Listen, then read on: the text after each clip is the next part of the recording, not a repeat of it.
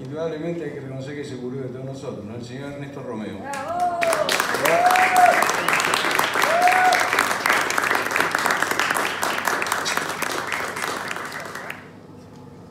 Hagan lo que quieran. ¿Qué puedo charlar? Ya conté que en gran parte gracias a él yo estoy en este mundo también. Eso es eh, así, así, exactamente así. Muy bien, Estoy viendo si recuerdo un sonido que había hecho. Ya te lo borró, este- Fran. Sí, seguro. Es así. No quiero ningún sonido que tenga Ernesto. Nada. No. Bueno, no importa. Si estaba cerca, lo iba a agarrar, pero. Señor. Bueno, este es tu set. Eh, a ver, vamos a empezar por algo que a mí, a mí me, nada, me llama la atención porque prácticamente sos el único que, eh, por lo menos acá en Argentina, que hizo lo que, lo que vos hiciste. Eh, Ernesto es un pionero de los sintetizadores eh, de toda la vida, prácticamente tenemos la misma edad, pero caminos muy distintos. ¿no? Un día nos encontramos, yo llevándote hasta, no me acuerdo dónde, pero bien lejos, Sí. hasta, hasta la universidad, así, y charlamos muchísimo de esto. Eh, en esa época donde lo común era que todos nos, lo que conté hace un rato, que todos nos deshagamos de nuestros sintetizadores viejos de la semana pasada, por el que estaba saliendo, el señor acaparaba todos estos sintetizadores eh, y los compraba quizás arruinados o tirados o, o totalmente eh, en, en estado de abandono eh, para ponerlos en órbita nuevamente porque justamente consideraba que, que eran absolutamente vigentes y válidos y hermosos. Y con estas cosas que pasan eh, en la historia de volver a lo, a lo que llamamos vintage o de reivindicar esos aparatos este, que quizás habían quedado obsoletos o en desuso en determinado momento, se encontró él con un imperio de... ¿Tenés el número de, de- de máquinas que tenés en tu estudio? No, no tengo. Ni idea. Idea, 300, 200, 150, Ponele, sí. 2000, No, 2000, bueno, no sé, depende de cómo cuentes, pero bueno. nada. Lo que quieras. La historia del sintetizador es este señor directamente. Eh, pero bueno, eh, el día que tuve la oportunidad de conocerlo, enseguida me abrió la puerta como para lo que necesite, que en ese momento era Nor. Y a partir de ahí fuimos generando un vínculo este, que últimamente se está haciendo cada vez más estrecho, ¿no? Sí, señor. Eh, así que nada, yo no tengo mucho que preguntarte, lo mejor es que hables vos un poquito de, de tu historia con Nor, Bueno, o con sí. lo que quieras. Sí, yo no soy muy sintético para hablar, pero bueno, eh, no es mi característica. Yo te corto. Eh, excelente. Sí, yo empecé a interesarme, en la- a- o, más más que interesarme, a, a recibir la data de poder ser músico a mediados de los 80, cuando tenía 15 años y al igual que lo que contó Francisco, eh, a través de la música de Vangelis tuve una especie de revelación eh, respecto a lo que la música podía significar eh, a un nivel mucho más profundo que lo que tiene que ver con simplemente escuchar por distracción, pasatiempo, diversión, gusto, afición. Empecé a sentir a la música como una instancia, como una puerta hacia otra temporalidad, otra, forma de, de- de entender la vida directamente. No me refiero a un sentido de, cómo aplicas eh, tus, tus acciones cotidianas, sino cómo vivís con determinado tipo de diferentes intensidades, cosas que en el sentido más constante de lo que es la palabra, las, las acciones y demás, eh, no entran. La música tiene como una cualidad abstracta que eh, a veces se nos escapa de tan metida en la cabeza la idea de que la música es como funcional, que ya, ya tenemos. Yo escuchaba música desde muy chiquitito, me llamaban mucho la atención ciertas sonoridades de, discos que encontraba que había en, la casa de mis padres, pero siempre había como una idea de que la música se escuchaba eso, como un momento de entretenimiento, como algo que, ocurría un rato en el día o estaba de fondo, excepto que fuese músico y era tu profesión. Y la división entre el que escucha y el que hace, al igual que en la mayor parte de las cosas que hacemos en nuestra sociedad, estaba muy marcada. ¿Cuándo, ¿eh? empezaste a pensar en ser músico? A los 15 años. O sea, escuché esa música y sentí como la posibilidad de ser músico sin tener formación musical ni ningún talento especial para eso manifestado nunca. Y tenías claro que no le ibas a tener esa formación académica, ¿no? Sí, yo creía, tenía, era como muy normal la idea de que si no tocabas el piano a los 5 años no ibas a tocar el piano nunca, o ibas a hacer un...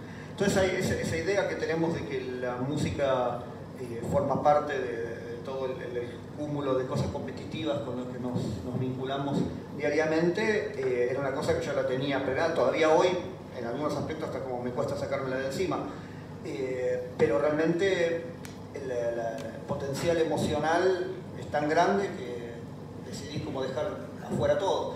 De alguna manera, toda esa cosa de, arrancar a ser músico pensando en que simplemente eh, todos los caminos que se suponía que te conducen a la música yo no los había transitado, también me permitió como de alguna manera dejar de lado cualquier otra cosa que tuviese que ver con algún prejuicio de cómo hacerla. Ya, ya estaba entregado, era como tipo, bueno, sí, listo, no voy a ser un músico en el sentido eh, tradicional, por lo tanto también me dejó de, de, importar un poco desde el comienzo el cómo iba a ser para hacerlo. Simplemente fui tratando de encontrar qué elementos me podían servir para seguir esa intuición.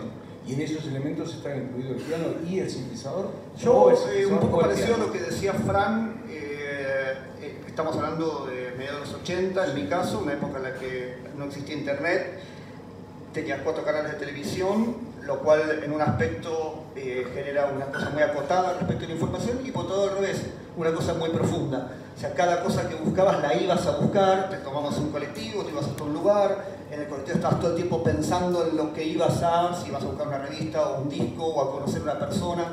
Entonces, eh, eso operaba, ¿sí? Ok. Eh, yo a los demás no se escuchaba casi, pero bueno, eh, eso opera de otra manera. Entonces, eh, si bien eran pocos elementos, quizás los que uno tenía a disposición, también por ahí disponías de más tiempo y más profundización con esos elementos. ¿Había piano en tu casa? No había piano en mi casa, no hay músicos en mi familia, salvo un tío de Mendoza que es organista, pero que no, con el que tuve muy poco vínculo y yo nunca manifesté ningún talento especial para nada de la música de chico, ni mucho menos. Eh, más bien, en el sentido tradicional, me siento como poco hábil, por decirlo de alguna manera. Y un poco tradicional también. Sí, pero es que creo que lo que pasa es eso, como que la música se, fue tornando algo muy específico y que eso es lo que hizo que se fuese alejando de la práctica cotidiana de la música. En otras culturas la música es un, es un hacer porque se es humano una condición de la humanidad hacer música, cantar, bailar y tocar. Eh, para nosotros no es así. La música la hace el músico, al son puede ser un aficionado tener un hobby, y si no vas y escuchás. De eso se trata. Esa división también tiene que ver mucho con la especificidad. O sea, yo, siendo una persona muy específica en esto, también me doy cuenta de toda la limitación que implica tener que tener tanta especificidad para dominar algo. Eh, como que yo veo la gente que entra a mi estudio y no, y no conoce mucho, es como, oh, esto y, parece como fuese una cosa inabarcable, inaccesible, que tenés que tener 40 títulos de ingeniero para manejarla. Y la verdad que son barreras esas. Y en un aspecto me encanta todo esto, pero de alguna forma siento que es una, muestra de lo, lejos que estamos de, tener la música como una práctica cotidiana. Es difícil estudiar el piano, es difícil manejar un sintetizador, es difícil tocar bien una guitarra, es difícil tocar la, la batería como que la música está como muy lejos, eh, por, el nivel de especificidad que tiene, de lo que es la, práctica general. Lo cual pienso que es en un aspecto una pena, porque siento que ese tipo de cosas tienen que convivir. Sea, tanto lo específico y lo detallado y lo desarrollado y lo, y hiperelaborado, si tenés ese tipo de carácter, o la, música como una expresión eh, natural y cotidiana. Tengo la idea de que lo simple es malo, y lo dificultoso, complicado y demás es, bueno. Y que sos un virtuoso si, si lo pasaste mal durante muchos años para lograrlo. Eh, creo que no debe haber ningún sintetizador por el cual no hayas este, metido mano en algún momento.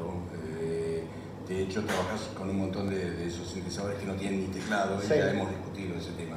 Pero para no quedarnos ahí eh, muy colgados, llegan los NOR a vos, obviamente cuando ya habían pasado muchos años de síntesis. Y habían pasado muchos años de NOR también. O sea, cuando yo conocí los NOR, que fue con el NOR Lead, es una época, comienzo de los 90, en la que todavía eh, el dominio de la parte de los sensores es totalmente digital y los NOR Lead son de los primeros sintetizadores que de alguna manera encienden la luz de, che, acá antes del mundo de lo digital también había otro universo que estaba bueno, un universo de perillas, por ejemplo, o de cierto tipo de sonidos. ¿Que no lo reivindica? Que lo ¿El intento es reivindicarlo? Sí. Eh, a mí una de las cosas que me atrajo cuando empecé a, tener mis primeros sensores de los instrumentos analógicos que la gente en ese momento no, no valoraba, era la posibilidad de usar el panel como parte del instrumento. Eh, si bien me fascinaban los instrumentos digitales y los samplers, en general tenía una interfaz inaccesible en forma directa a sus parámetros de programación, programabas de un parámetro por vez lo cual implicaba que a lo sumo, si tenías dominio de la programación, podías construir un sonido y después tocarlo. Y la interfaz para tocarlo era el teclado y las dos rueditas. En cambio, para mí, la interfaz para tocar un sonido de sintetizador son todos sus parámetros de síntesis. Para eso tenés que tenerlos todos disponibles, para poder manipular eso, no solo para crear un sonido e ir a un fin, sino para ir al tránsito expresivo entre lo que puede hacer las distintas cosas del instrumento, las envolventes, los procesamientos, los tipos de modulación, todo ese tipo de cosas me parece que en un sensor implican cosas que tienen que estar accesibles para poder manejarse expresivamente. Por eso y por ciertas cualidades sonoras es que eh, yo nunca le cerré la puerta, todo lo contrario a esos instrumentos que en ese momento eran considerados obsoletos, que eran los analógicos. Y además, yo tenía muy pocos recursos económicos y eran los únicos instrumentos que me podía comprar porque nadie los quería y era lo único que estaba barato en las revistas segunda mano y en las casas de música, gente que te decía, che, a vos todas estas cosas viejas, y me regalaban, no sé, un piano Rhodes, por ejemplo, el piano Rhodes fue regalado por alguien que tenía un sampler y que hacía... más ganas de cargar. No, no, no, y bueno, ese tipo de cosas que hoy son todo lo contrario, en, su momento fue como una especie de otra mancha más que sumé a mi, a, a mi situación, ¿no? A mí me llamó mucho la atención un día hablando con vos cuando me dijiste esto de, qué importante era la mano izquierda en, la interfaz, por ejemplo, de Minimu, eh, en, tener todos los, botones ahí a mano y trabajar. O sea, no, no solamente el hecho de que el Minimu sea monofónico y no se pueda tocar más de una tecla por vez, sino que la mano izquierda era muy importante para ir modificando en tiempo real cualquiera de los parámetros que mismo proponía. Y me acordaba de chico viendo a Weyman o a Emerson en los pocos videos que podíamos ver, eh, qué sé yo, pensando en, claro, qué buen pianista que es, pero eh, con razón toca, no, y, no entender demasiado de qué iba la cosa, hasta que de grande entendí que justamente lo único que tienen en común son unas teclas, en la misma disposición, blancas y negras, faltan las rojas como el que tocaba Alf eh, en sus programas, pero bueno. Eh, así que bueno, llego al, conozco los primeros Nord con esto de los Nord Lead, que me gustó mucho la idea del panel, pero no me gustó tanto lo del analógico virtual, digamos. Que en realidad no es sampler, ¿eh? O sea, es un tipo de síntesis en la que digitalmente se trata de emular las características, no solo el, están guardadas en una ROM, básicamente. Eh, no, están recreadas matemáticamente en el momento. O sea, la idea del modelado físico es que vos no solo emules el la función de un filtro, sino el comportamiento, por ejemplo, de un determinado tipo de características de un filtro electrónico X. Por ejemplo, También los motores de piano. Es, eh, claro, el modelado físico del motor de piano acá, por ejemplo, se utiliza para darle todo ese tipo de características que va más allá de que vos, el, modelado físico se combina con el sampling acá en la parte de piano de los NOR, para hacer que no solo tengas las distintas capas grabadas, sino la interacción entre ellas impliquen formas de síntesis que interactúen con cómo tocas según el velocity, la cantidad de notas que tocas, cómo lo ligas, toda la parte del string resonance y eso es una combinación también desempleado con, con modelado físico. ¿Y qué es lo que viste inicialmente en Nord? Eh, en, el Nord por ejemplo, me gustó eso que te digo de las, de las perillas, pero la verdad que, que, no entendía bien por qué hacer digitalmente algo analógico, eh, excepto porque en ese momento nadie hacía cosas analógicos y era eso, como una especie de tecnología como que había sido dejada de lado. Pero el sonido yo ya tenía Prophet y Minimu, que eso no me atrajo demasiado, me parece un poquito anémico comparado con el de los instrumentos analógicos. Empezó Estamos a interesar... hablando del lead. Estamos hablando de Norlin. Empezó a interesarme mucho lo de Nord cuando eh, vi el electro, porque a mí siempre me gustaron los pianos eléctricos, yo estudié piano también cuando empecé a, ser músico, eh, y siempre me gustaron esos sonidos, el Rhodes, el Wurlitzer, eh, y era un tipo de sonido, no así el del piano acústico, que sentía que alguna vez se iba a poder de alguna forma presentarlo de otra manera, que no sea solamente con un instrumento electromecánico, no necesariamente por la cuestión de lograr ese mismo tipo de dinámica que es imposible de lograr, sino porque a mí me gustaba mucho usar los pianos eléctricos procesados. Entonces ya estaba como en general, el uso que yo usaba era un poco desnaturalizado. Siempre me gustó ponerle el delay, phaser, chorus, modulación en anillo. Entonces ya la, la relación con la interfaz directa del piano cambia, porque cambian todas las funciones dinámicas. Entonces, eh, varias veces en función de, tener un set un poco más, eh, a veces, eh, transportable o eso, por ejemplo, en un momento traté de sustituir el Rhodes con el Gurlitzer, que es un poco más chiquitito y, por supuesto lo único que logré es tener dos pianos eléctricos en lugar de uno. Claro. o sea, evidente que no solo no iba a reemplazar, sino iba a, y por temas en los que están combinados los dos pianos.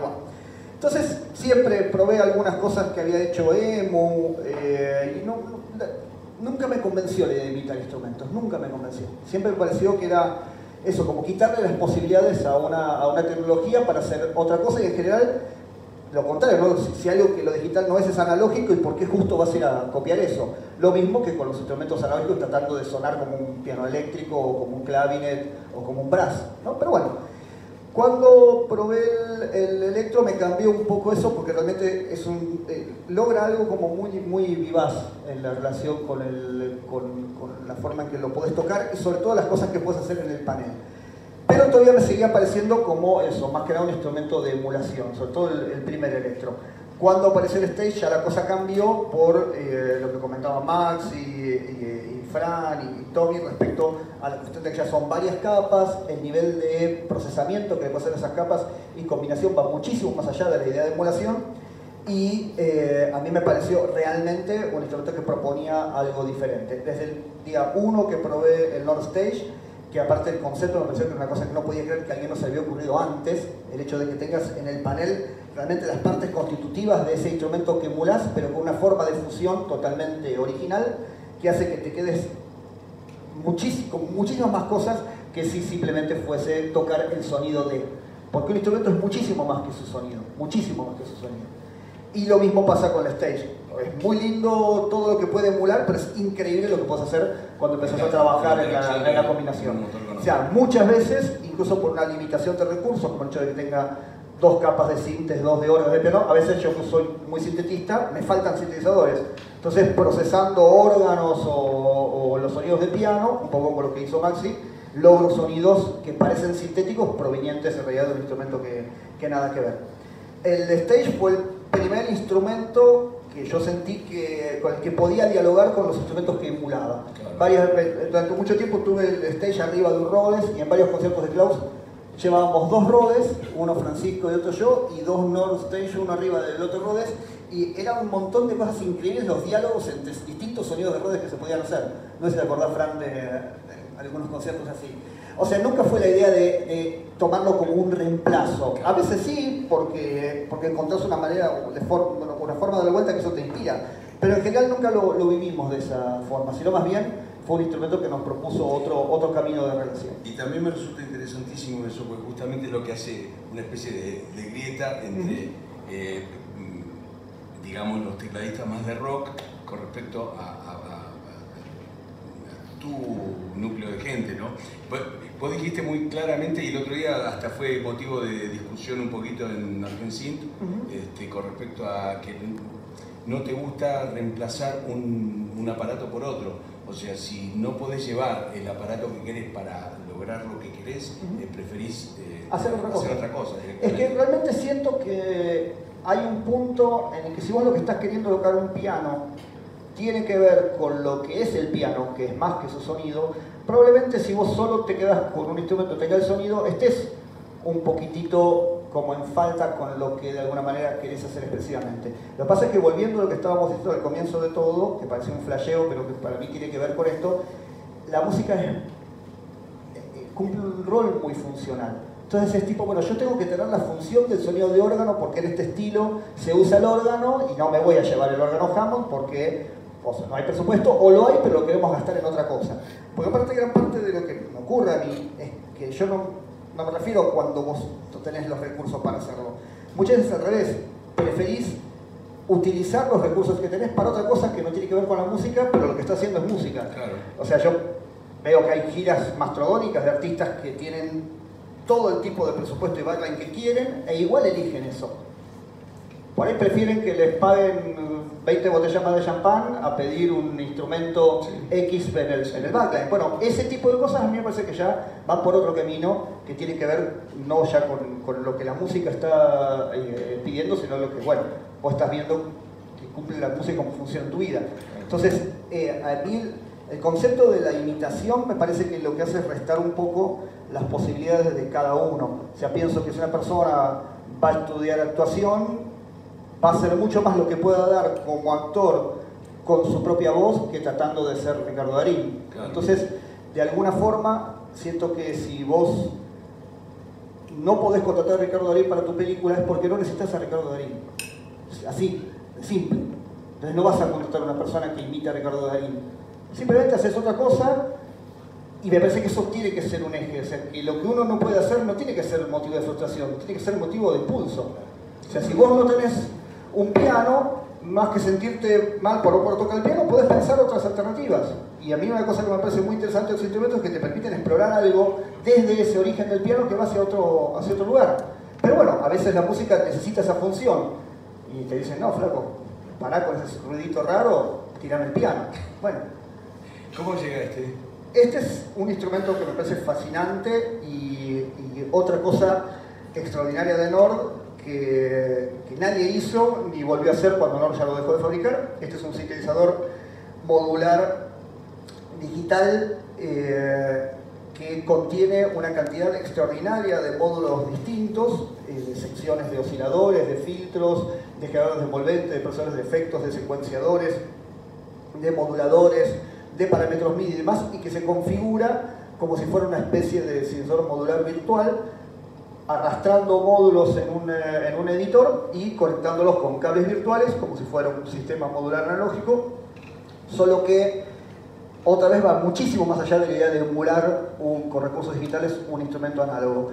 Como sonido de sintetizador modular analógico, por ejemplo, eh, me parece que no tiene comparación con ningún instrumento ni contemporáneo ni antiguo de los modulares, pero como instrumento modular digital es algo absolutamente alucinante. Eh, acá está el editor, vamos a salir de aquí un segundito. Eh, cada sonido que uno carga en el instrumento, por ejemplo,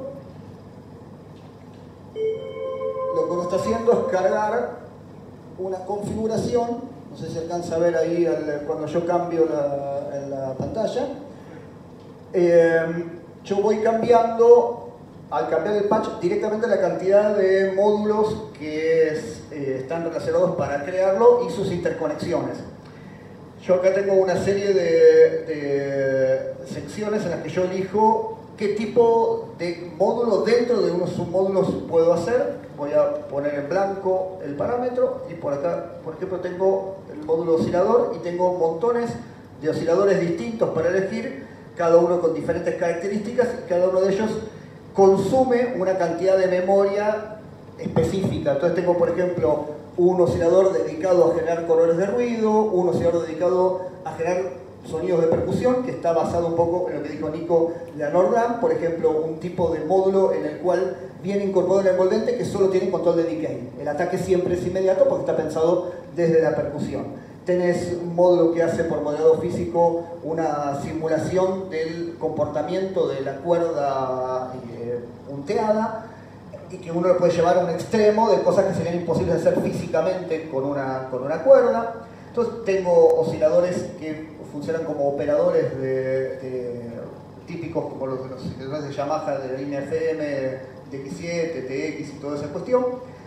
Y cada una de estas secciones, LFO, envolvente, delay, mixer, funciones lógicas, secuencias, parámetros MIDI, tienen un montón de submódulos que son los que yo puedo elegir.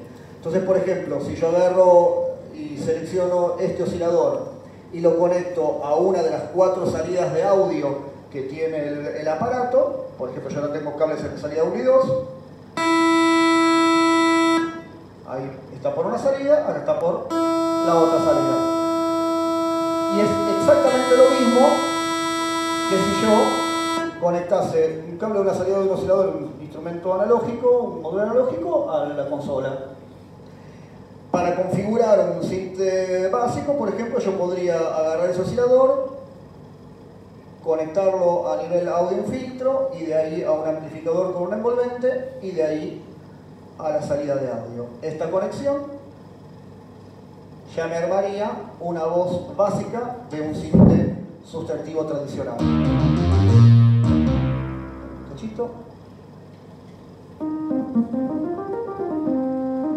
Esto que estamos escuchando es este oscilador controlado de afinación por este teclado. Ese oscilador está pasado por este filtro y eso está pasado por este amplificador que es controlado por este envolvente.